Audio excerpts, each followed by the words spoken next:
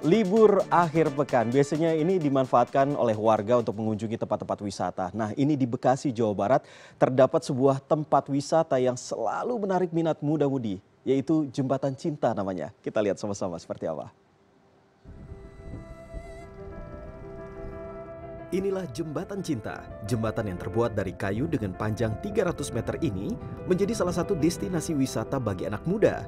Jembatan yang berada di Desa Segarajaya, Kecamatan Tarumajaya, Kabupaten Bekasi, mampu menarik perhatian warga walau hanya untuk sekedar berfoto. Selain jembatan dengan corak perpaduan warna ini, di sekitar lokasi juga terdapat keindahan pemandangan berupa hutan mangrove. Terlebih di musim libur panjang ini, banyak warga terlihat memadati jembatan cinta tersebut.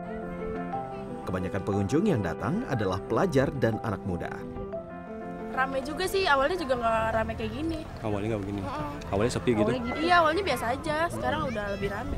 Apa karena spot fotonya juga lumayan bagus bagaimana bisa, bisa jadi, jadi. Hmm.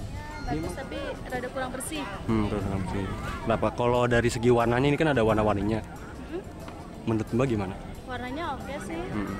cuman ya itu kurang bersih aja. Tahu dari teman sih. Dari teman. Ini memang lokasi favorit atau gimana? Uh, iya favorit. Hmm.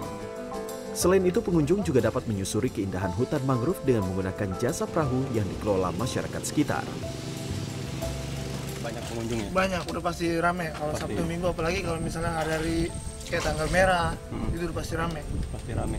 Rata-rata apa bang? Anak muda, pelajar atau gimana? Rata-rata anak muda, terus ibu-ibu, pokoknya hampir semua, udah semua kalangan.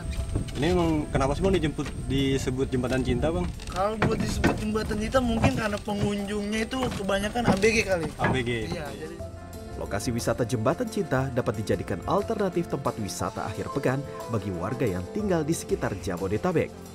Erik Kustara, Bekasi.